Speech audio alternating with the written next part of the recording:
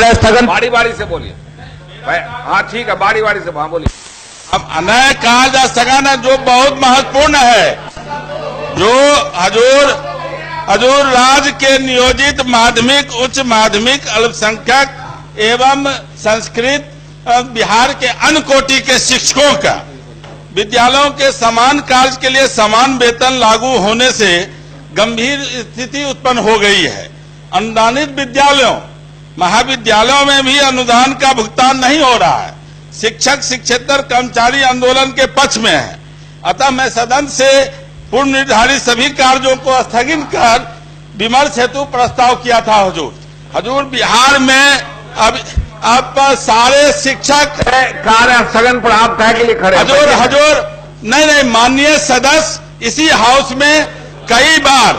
और आपको मैं बता दूँ हजूर जो प्रतिपक्ष में हमारे जो उप मुख्यमंत्री जी थे उन्होंने इसी सदन में कहा था कि मैं सरकार में आऊँगा और सरकार में आने के बाद पूर्ण वेतन मैं दूँगा। लेकिन अभी माननीय वित्त मंत्री जी हैं प्रबंधन है केंद्र में इनकी सरकार है और जिस तरीके से सरकार अभी हमने अखबारों में देखा हजूर कि हाई कोर्ट से उसको जजमेंट मिला सारे शिक्षकों को कि समान वेतन समान नियोजित शिक्षक को मिलना चाहिए उसको ये लोग सुप्रीम कोर्ट ले जाना चाहते हैं जो घोर अन्याय होगा।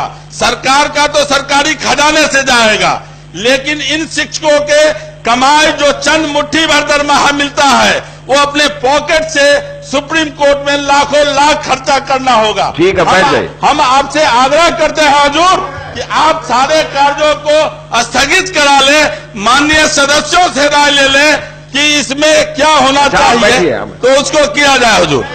चौधरी जी ने बड़ा महत्वपूर्ण सवाल उठाया है। इसलिए इस सवाल पर तो इस सदन में सरकार का उत्तर हो चुका है कि अगर माननीय उच्च न्यायालय पटना का अच्छा, आदेश आएगा संजीव समान काम के लिए समान वेतन पर तो सरकार उसे लागू करेगी। इसलिए आज कार्य स्थगन दिया है। माननीय पटना उच्च न्यायालय के फैसला के अनुसार राज्य के नियोजित शिक्षकों को समान कार्य के लिए समान वेतन देने का न्यायाधीश को सरकार जल्द से जल्द लागू करे। चूँकि यह लागू नहीं हो रहा है इसलिए शिक्षकों में पूरी निराशा है और पठन पाठन का कार्य भी एक तरह से जो है प्रभावित हो रहा है। हो गया वही बात दिलीप बाबू भी बोले हैं। नहीं महोदय प्रभावित बहुत बुरी तरह से हो रहा है। इसलिए और सरकार सरकार क्या इस फैसले से सहमत नहीं है? हम जानना चाहते हैं कि सरकार इस फैसले से सहमत है कि नहीं सहमत समान काम के लिए समान वेतन और आज पूरे सरकार बिहार सहमत है कि नहीं सहमत है इसलिए हो गया। विद्यालय के इस पर विशेष बात की अनुदान होनी चाहिए यह इसलिए साल- महोदय ये बहुत ही महत्वपूर्ण विषय है। चूँकि बिहार में शिक्षा के अलावा अगर हो गया, मदन, वो वही बात आप ही कर रहे हैं, समझ गए। तो इसलिए ये मामला बहुत गहरा संज्ञान में आ गया